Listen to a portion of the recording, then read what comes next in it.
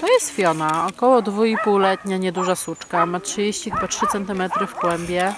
E, Na moje oko waży jakieś 8-9 kg. E, Gdy do nas trafiła, była mocno zalękniona. W tej chwili wie, że spacery z wolontariuszami są przyjemne. E, Lgnie do ludzi i szuka w nich poczucia bezpieczeństwa, ale wciąż musimy do niej podchodzić spokojnie, raczej e, dać jej rączkę do powąchania. Na pewno nie odnajdzie się w domu z e, energicznymi e, maluchami, które rzucają zabawkami, krzyczą, biegają. E, Wymaga cierpliwego, spokojnego domu, e, u boku którego będzie mogła nabrać pewności siebie, rozkwitnąć i pokochać swojego opiekuna całym serduchem. E, Mamy nadzieję, że taki dom szybko jej znajdziemy.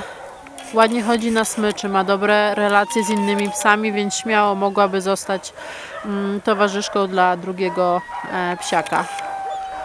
Szukamy kogoś, kto daje szansę, kto ją pokocha, adoptuje i pokaże, że świat u boku człowieka może być piękny.